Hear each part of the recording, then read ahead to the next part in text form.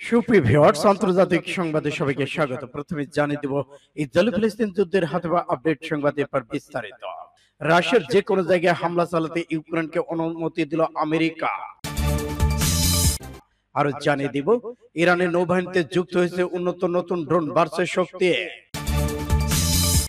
আরও থাকছে ইটালির রাষ্ট্রদূতকে তলব করে ইরানে করা প্রতিবাদ। উত্তর কোরিয়াকে অস্ত্র দেবে পুতিন, গভীর উদ্বেগে প্রকাশ করেছে যুক্তরাষ্ট্র। এবার ফিলিস্তিনকে রাষ্ট্র হিসেবে স্বীকৃতি দিল আর্মেনিয়া। আরও জানিয়ে দিব, ইরানকে মরণাস্ত্র দিছে চীন।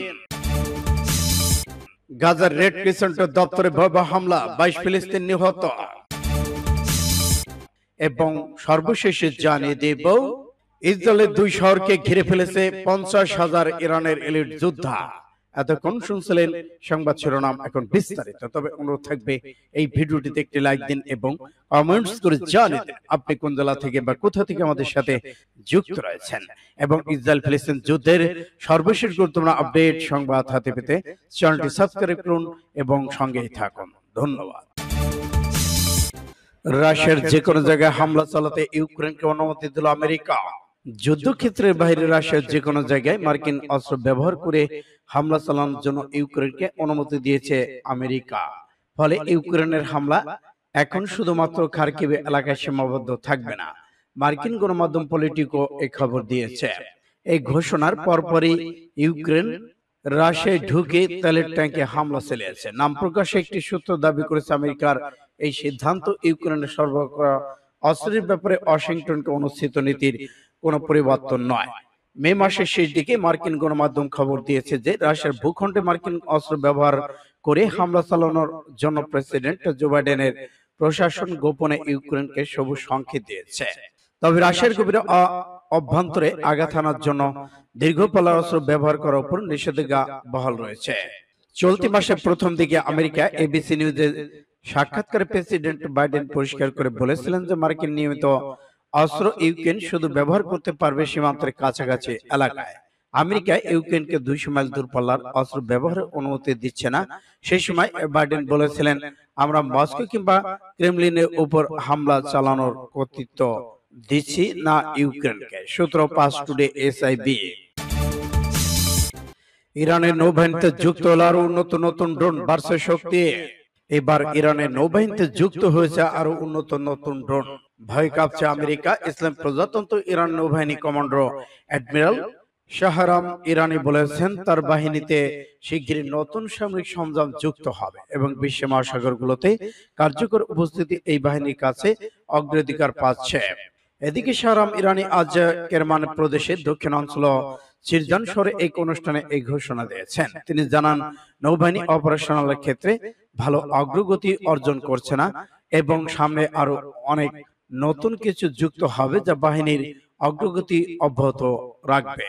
এদিকে কমান্ডো শাহরাম ইরানি উল্লেখ করেছেন, ইরানি নৌবাহিনী উন্নত ড্রোন অর্জন করেছে যা মধ্যপ্রাচ্যে তার বাহিনীর যুদ্ধ শক্তি বাড়িয়ে দিয়েছে। ইরানের সামরিক বিশেষজ্ঞ এবং প্রকৌশল ইঞ্জিনিয়ার তারা এই কথা সশস্ত্রে স্বীকার করেছে, সূত্র ফাস্ট টুডে। এবার ইটালির রাষ্ট্রদূতকে তলব করে ইরানে করা প্রতিবাদ।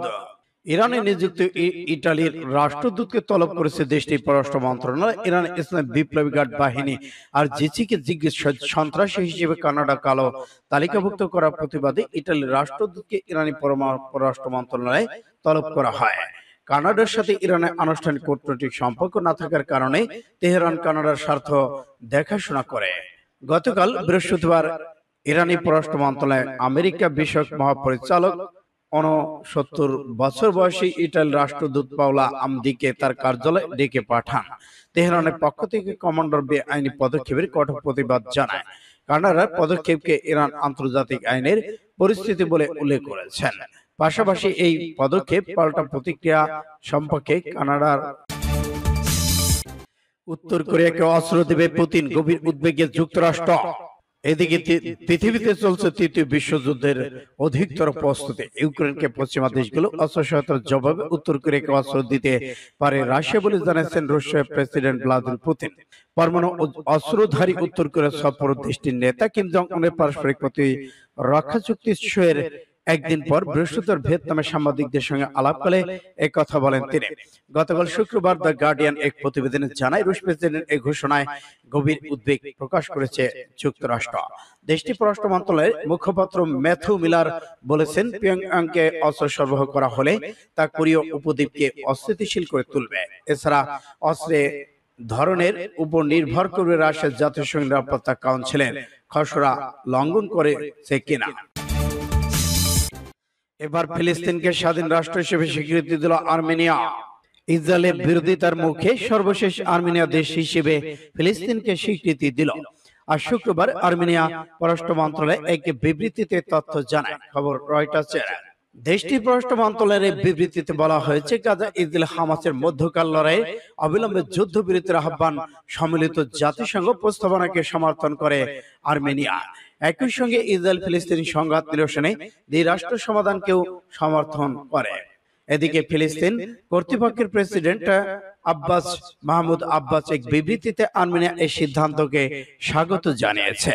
তিনি একে ফিলিস্তিন জনগণের জন্য একটি বড় অর্জন বলে অভিহিত করেছেন। অন্যদিকে ফিলিস্তিনকে স্বীকৃতি দেওয়ার ইসরায়েলের রাজধানী তেল আবিব নিযুক্ত আর্মেনিয়ার রাষ্ট্রদূতকে পররাষ্ট্র মন্ত্রণালয় তলব করে তীব্র প্রতিবাদ জানিয়েছে।